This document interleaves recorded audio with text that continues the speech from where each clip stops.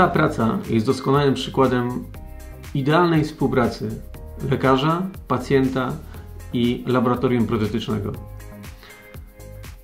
Zaczęło się od bardzo dokładnego wywiadu, oczywiście leczenia. Pacjent nakreślił swoje życzenia, ja powiedziałem, co jest możliwe do zrobienia. Wcieliliśmy to w życie.